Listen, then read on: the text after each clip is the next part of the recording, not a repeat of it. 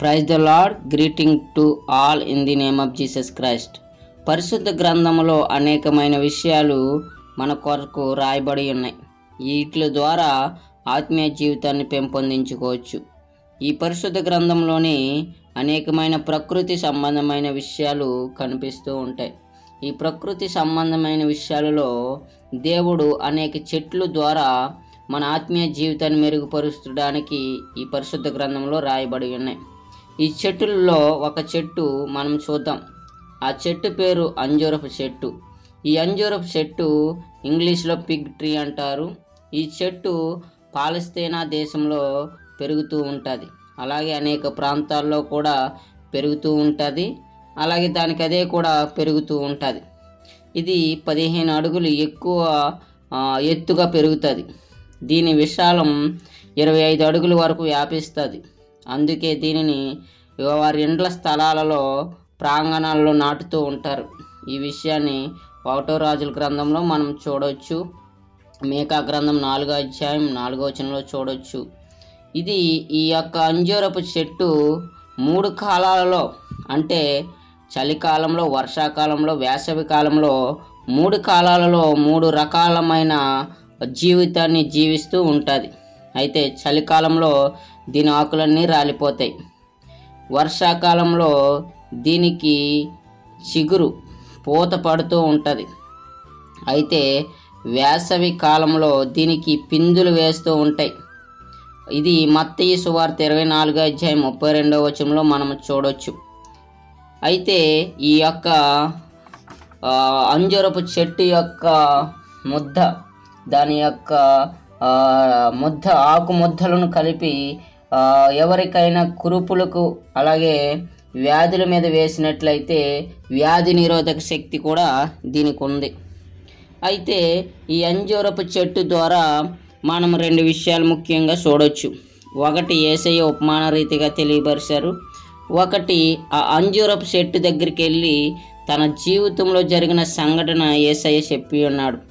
మొదటి సంఘటన ఏంటి అంటే ఏసయ్యే అంజూరపు చెట్టు దగ్గరికి వెళ్ళినప్పుడు తన కాలంలో పిందులు వేయవలసిన కాలంలో ఆ ఏసై ఆ చెట్టు దగ్గరికి వెళ్ళినప్పుడు అంజూరపు చెట్టు దగ్గరికి వెళ్ళినప్పుడు అది ఎటువంటి కాపును ఇవ్వలేని పరిస్థితిలో ఉంటుంది.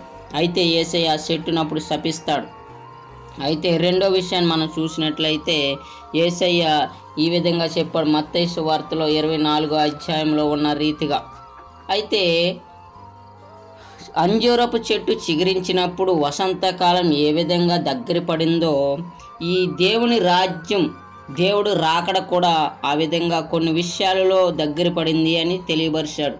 అయితే దేవుడి రాజ్యం ఏ విషయాల్లో దగ్గర పడింది అని మనం చూసినట్లయితే దేవుడు రాజ్యం కొరకు ఈ విధంగా తెలియపరిచాడు. దేశం మీదకి దేశం యుద్ధం జరుగుతుంది కాలు వ్యాధులు ఎక్కువ వస్తాయి అని ఈ విధంగా తెలియపరిచి ఉన్నాడు.